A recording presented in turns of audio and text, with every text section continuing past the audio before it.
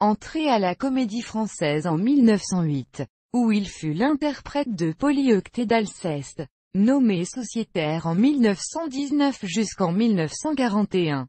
Il y donna sa soirée d'adieu le 17 février 1950.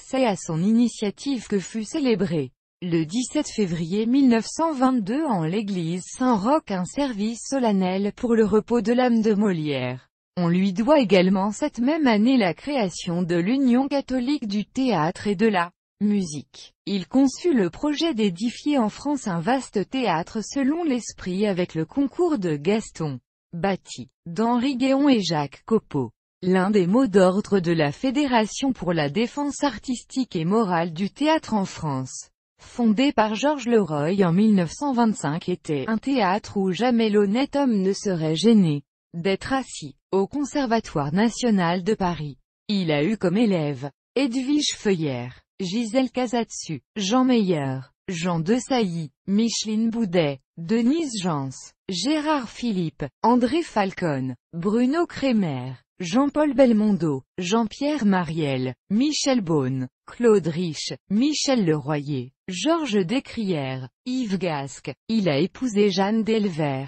1877 à 1949, qui fut également sociétaire à la Comédie Française. Georges Leroy reprend comme Edmond Gott, Ernest Le Gouvet et Henri Dupont-Vernon ce que Racine, Fénelon, Voltaire et Marmontel ont écrit sur la structure syntaxique et la primauté du sens dans le phrasé.